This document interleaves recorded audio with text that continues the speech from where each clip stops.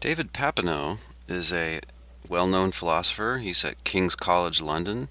He specializes in epistemology, philosophy of science, and philosophy of mind. And he's the author of a book called Philosophical Naturalism, which is one of the few full-scale defenses of the worldview of naturalism. Usually naturalism is assumed to be something that everybody knows, uh, or maybe something that science has discovered. And Papineau realizes that this, this isn't so. Not everybody knows this who's informed, and it's not exactly something it's not something that's uncontroversially been uncovered by science. Although in the end he does think that science strongly supports naturalism. Uh, but he recognizes that we do need to give an argument for physicalism about human persons. And so he gives a very complicated argument for for that which I'm going to go through now um, and before I do this I have to say that I find some unclarity in this argument what I'm about to present is my own formulation, um, my, my best attempt to understand his argument in a way which is valid and which is plausible. So, without further ado, here's what he calls his canonical argument for physicalism. And by canonical, he just means uh, one that should be widely accepted, kind of a standard argument. So the first premise is that all mental events cause physical events. At least we know that some do, right? Because, uh, for instance, fear can cause your your heart rate to go up. Second premise is that all physical events are caused by prior physical causes. This is the causal completeness of physics, that physics captures complete causes for any physical event that there could be.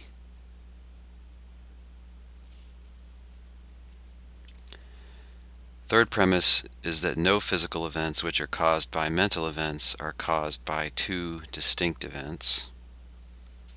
We'll talk about his grounds for this in a minute. So those are his his three independent premises. Uh, none of those follow from each other. These are three independent premises, and from those it follows that every mental event just is some physical event. And it seems to follow from that that humans are purely physical beings. So you may want to pause the video here, make sure you have this argument down so you can refer back to it. I'm going to discuss um, how the argument works and kind of illustrate it graphically and you may want to refer back to the premises while I'm doing that.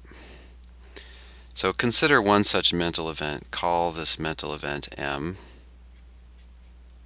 And by premise 1, if premise 1 is true, then it must cause some physical event. Let's call it P2. So for any mental event there is, it, it must cause some physical event. Now by the second premise, P2 must have a physical cause.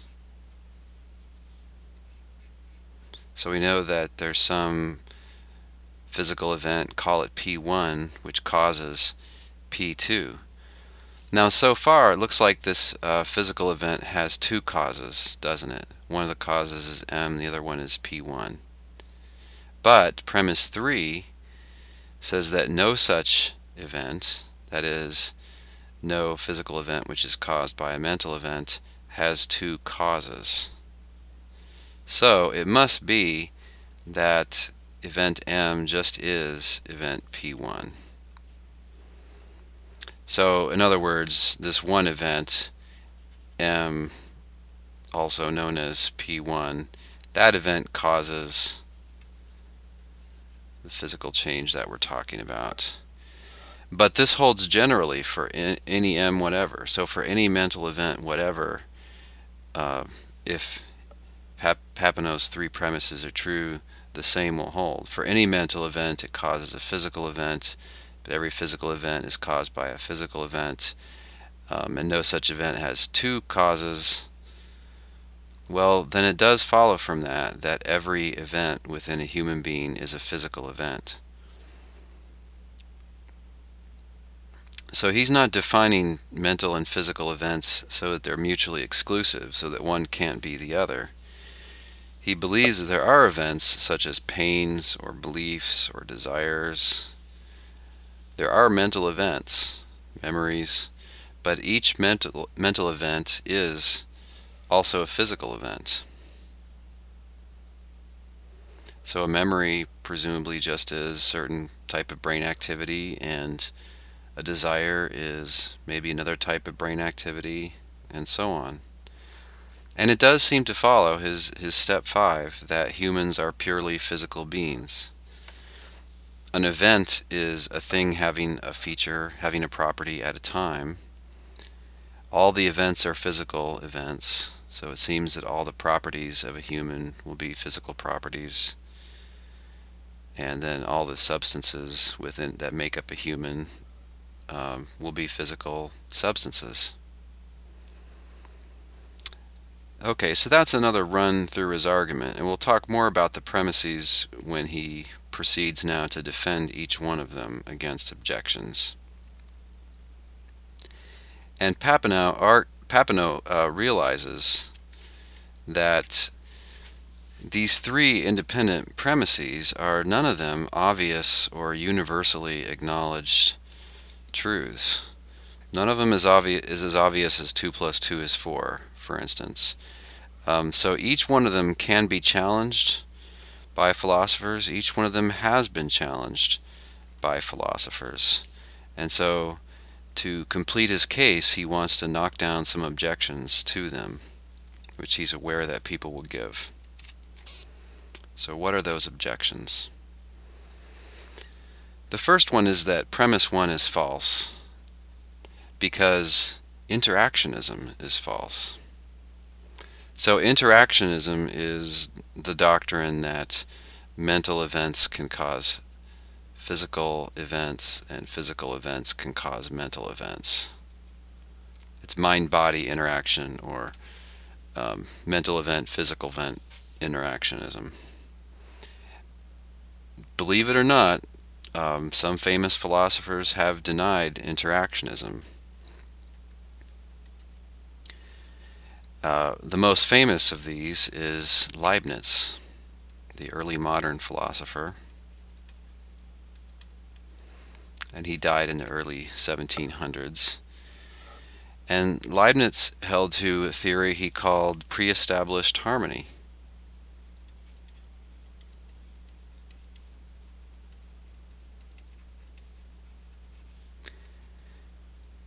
He believed in mental events and in physical events, but he did not believe that any mental, mental event causes a physical event or that any physical event causes a mental event.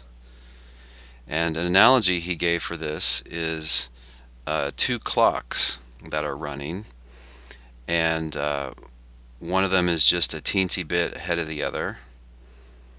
So whenever this one's hand moves, in a certain into a certain position. A second later, this one moves. And uh, if you didn't know that these were independently moving clocks, you might think that the first clock is causing the changes in the second clock. But no, these are just clocks that are built the same way, and somebody wound them up in the same way and started them off almost at the same time. And so they're just a teeny bit out of sync whenever there's a change in one, then there's a change in the other one that occurs right after. But it's not that the first change is the cause of the second. That would be a mistake. So Leibniz believes that there are souls and there are physical objects, and that um, these have just been pre programmed to undergo certain changes.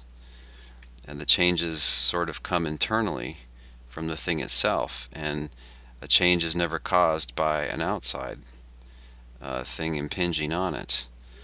So suppose I uh, kick you in the shins. I kick you right in the legs. Bam. There's a physical change there, right? And most of us believe that it's my foot hitting your shin that causes you to feel that nasty pain.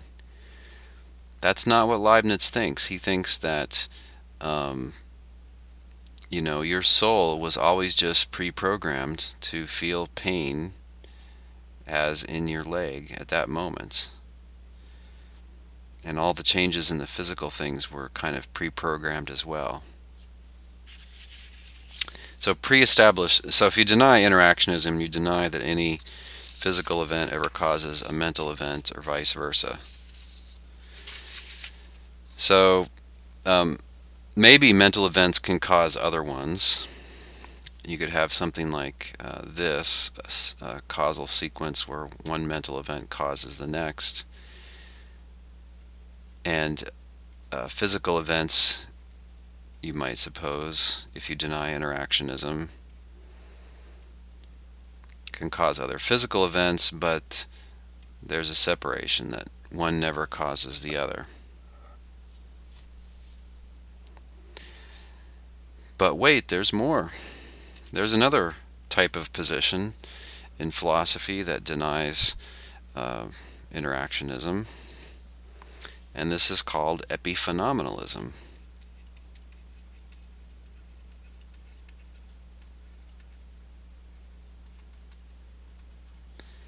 Epiphenomenalism. This is the view that mental events are real and that mental events have causes, but they don't have effects. So there's a realm of physical causation in the world, which I'll represent very crudely like this, just one physical event causing the next. And these physical events cause mental events. But notice that the mental events don't cause anything themselves. The mental events are, Papineau says, causal danglers on this view.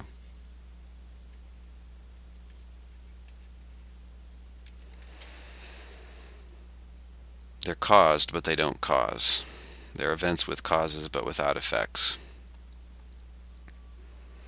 Um, epiphenomenalism is a view that you might take if you think that all the causal intera uh, interaction in the world is of the kind that physics would describe, but you want to say that there are mental events which are different than physical events. So you just make the mental a product of the physical, but not a product which ever makes a causal difference in the physical world. I've met a philosopher or two who holds to this. Um, it's not a popular view. And uh, against both of these rival views, pre-established harmony and epiphenomenalism,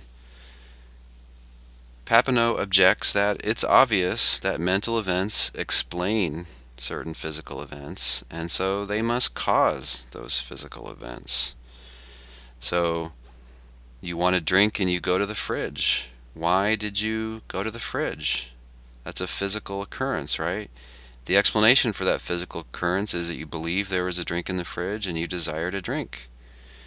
So there you have a mental cause and a physical effect. And if there is cause and effect like that in the world, then those other views are false. So he says mental events explain and so cause physical effects.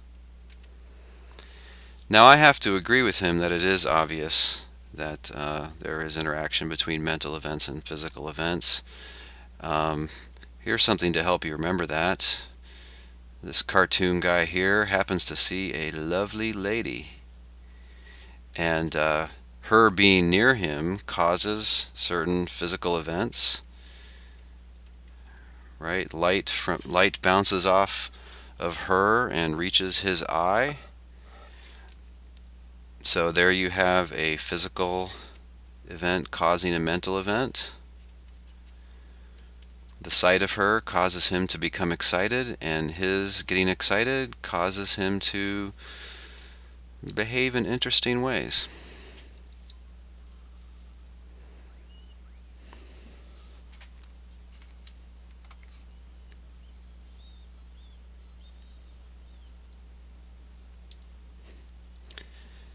Papineau also argues that we haven't found causal danglers like that in science, and so it'd be really surprising if we found them uh, when it came to mind and body.